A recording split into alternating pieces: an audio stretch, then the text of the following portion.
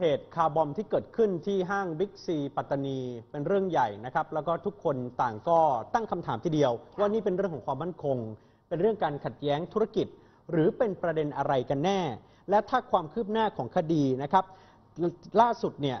ถ้าไปดูในรายละเอียดนะครับ มันก็จะมีหลักฐานที่เป็นทั้งกล้องวงจรปิด แล้วก็พยานต่างค่ะๆที่ให้เหตุการณ์กับเจ้าหน้าที่ คือต้องไปไล่เรียงจากปฏิบัติการของเจ้าหน้าที่ชุดเก็บกู้และตรวจพิสูจน์วัตถุระเบิดหรือว่า EOD ของปัตตานีนะครับ เข้าไปในที่เกิดเหตุภายในห้างสรรพสินค้าบิ๊กซีปัตตานีที่อยู่แถวทางเข้าเทศบาลเมืองปัตตานี ต้องแยกเป็น 2 จุดครับคุณผู้ชมสำหรับเหตุระเบิด จุดแรกคือแถวทางเข้าลานจอดรถ จุดนี้เป็นระเบิดแสวงเครื่องแบบไปบอม เป็นแบบตั้งเวลาลูกเล็ก น้ำหนักระเบิดไม่มากเท่าไหร่ จุดที่ 2 เป็นคาร์บอมนะครับเป็นรถที่ไปจอดอยู่หน้าประตูทางเข้าบิ๊กซีเลยครับเจ้าหน้าที่เจอกับถังแก๊ส2ถัง เป็นถังขนาดใหญ่ 15 กิโลกรัมถังหนึ่งอีกถังหนึ่งเป็นถังเล็ก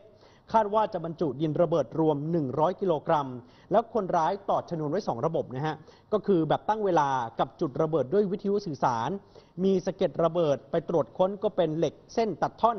มีแกลลอนบรรจุน้ำมันเชื้อเพลิง เพื่อขยายแรงระเบิดให้เกิดเพลิงไหม้ นี่คือส่วนที่ EOD เขาลงพื้นที่แล้วก็ไปตรวจพบ ค่ะนอกจากการตรวจพิสูจน์วัตถุระเบิดที่คนร้ายใช้แล้วนะคะ เบาะแสล่าสุดของคนร้ายค่ะเมื่อวานนี้ทีมล่าความจริงได้ เปิดภาพจากกล้องวงจรปิดนะคะ ที่เจ้าหน้าที่รวบรวมมาได้ก็จะเห็น 2 จุดหลัก ๆ คือนี่คือจุดที่คนร้ายเนี่ยขับรถที่ขโมยมาเข้ามาจอดในห้างโดยใช้บัตรประชาชนของเจ้าของรถนะคะ อีกจุดหนึ่งเนี่ยเป็นจุดที่คนร้ายขับผ่าน แนวสถานที่ซึ่งเป็นด่านตรวจแถวแถวๆใกล้เมืองปัตตานีค่ะ แต่ว่าเบาะแสล่าสุดนะคะ จากกล้องวงจรปิด คาดว่าผู้ก่อเหตุน่าจะมีไม่ต่ำกว่า 10 คนสองคนเป็นคนขับรถที่ขับรถบรรทุกระเบิดมา เดินคู่ลงมาค่ะคุณผู้ชมดูตามภาพไปนะคะ เดินลงจากหลังที่ไปจอดรถ ที่หน้าประตูห้าง แล้วก็มีเพื่อนอีกสองคนที่ขี่รถจักรยานยนต์ มารอรับอยู่ที่บริเวณด้านหน้าบิ๊กซีค่ะนอกจากนั้นก็ยังมีคนร้ายอีกกลุ่มหนึ่งนะคะ ที่ทำหน้าที่สังเกตการณ์ไปปะปนอยู่กับลูกค้าในห้างด้วยนี่นะคะ ก็เป็นภาพที่สามารถบันทึกนาทีก่อนที่จะเกิดเหตุระเบิดเอาไว้ได้ ครับ ทีมรอบวางระเบิดครั้งนี้เนี่ยจากการตรวจสอบของเจ้าหน้าที่ว่า เชื่อว่าน่าจะไปเชื่อมโยงกับนายอับดุลเลาะห์สาแม เป็นผู้ต้องหาตามหมายจับในคดีวางระเบิดคาร์บอมหน้าฐานปฏิบัติการของตำรวจ เหตุเกิดเมื่อ 27 กุมภาพันธ์ปีที่แล้ว อยู่ห่างจากจุดเกิดเหตุหน้าห้างบิ๊กซีปัตตานีราวๆ1กิโลเมตรเองคุณมนชัยอ่าแล้วอีกส่วนหนึ่งนะคะที่คาดว่าน่าจะเกี่ยวข้องกับทีมรอบวางระเบิดก็คือนายอากีมดอเลาะห์เป็นผู้ต้องหาในคดีรอบวางระเบิดคาร์บอม หน้าโรงแรมเซาท์ n นวิวปัตตานี เหตุเกิดเมื่อ 24 สิงหาคมปีที่แล้วค่ะ ที่หน้าโรงแรมเซาท์ n นวิวนะคะ ตรงนี้ก็อยู่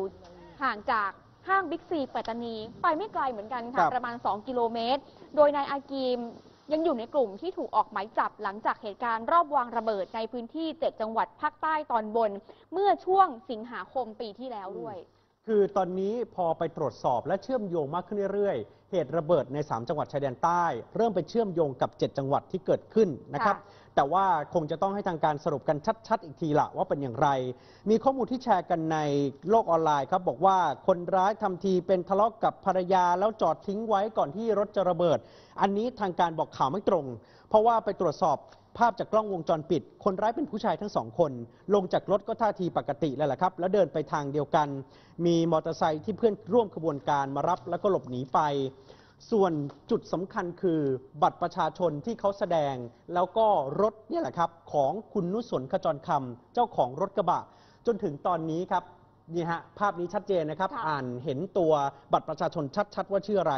ตอนนี้ไม่ทราบชะตากรรมของคุณนุสนขจรคำตำรวจทราบคือ มีโทรศัพท์ลึกลับ บอกว่าเป็นลูกค้าโทรมาหาคุณนุสนบอกให้ไปช่วยติดตั้งติดตั้งผ้าใบบังแดดให้หน่อย คุณนุสนก็ขับรถออกไปแล้วหายตัวไป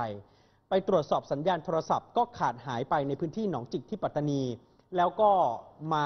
ลักษณะแบบนี้เจ้าตัวหาย เหลือแต่รถกับบัตรประชาชนนะครับ ก็ชัดเจนว่าเป็นฝีมือของคนร้าย ส่วนผู้ที่ได้รับผลกระทบจากเหตุระเบิดที่บิ๊กซีปัตตานี ตอนนี้ล่าสุดบาดเจ็บ 80 ราย อาการไม่หนักครับ แพทย์อนุอนุญาตให้กลับบ้านไปได้ 53 รายที่เหลือ 27 รายยังอยู่ที่โรงพยาบาล 27 ราย แบ่งเป็นที่โรงพยาบาลปัตตานีในพื้นที่ 26 ราย อีกหนึ่งรายส่งต่อไปที่โรงพยาบาลสงขลานครินทร์ที่หาดใหญ่ ผู้บาดเจ็บจะได้รับเงินเยียวยาจากสอบต แบ่งเป็นลักษณะแบบนี้นะครับ เป็นขั้น ถ้าเจ็บปานกลางได้ 30,000 บาท อันนี้มี 4 รายที่เข้าขั้น บาดเจ็บเล็กน้อยได้รายละหมื่นบาท มี 23 รายที่เข้าขั้น